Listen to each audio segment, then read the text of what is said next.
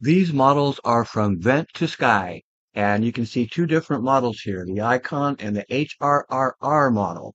These models show a totally different landfall than what all these other channels are showing.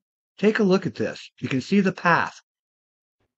And although all the models will change, you know, hour by hour, this one shows a landfall in a totally different spot than all these other people, including the Weather Channel. Here is the GFS model, and it starts at 5 o'clock. And you again can see the path. I put Cedar Key up there because most people think this is going to land there. I believe most forecasters are correct when they talk about the storm surge. Cedar Key, Tampa Bay, but look where this model, the GFS model, shows that it's going to land. Landfall, 8 a.m., 120 miles an hour on Wednesday morning. But regardless of where this thing makes landfall, the storm surge is the real killer of people. And Cedar Key, what's it got? 10, 12 feet, 15 feet of, of storm surge. Tampa Bay, 7 to 10 feet. Unbelievable amounts of water.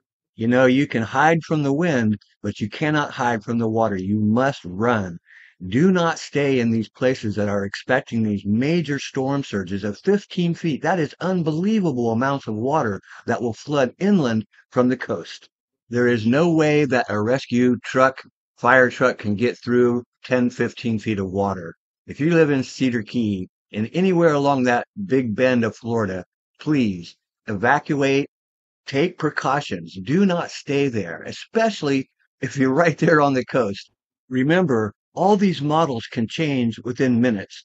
And the hurricane hunters, they're doing such a great job. You know, I had a friend that was actually a hurricane hunter when the Navy did that, but now the Air Force takes care of that. So by 8 a.m. tomorrow, this storm, this hurricane will come ashore somewhere along the Big Bend area of Florida, and it's going to produce 120 mile an hour winds right there as it comes along shore and 10 to 15 feet of storm surge. Please take precautions, evacuate the area. Hey, this is Chuck with Apple Drains reminding you to please stay safe.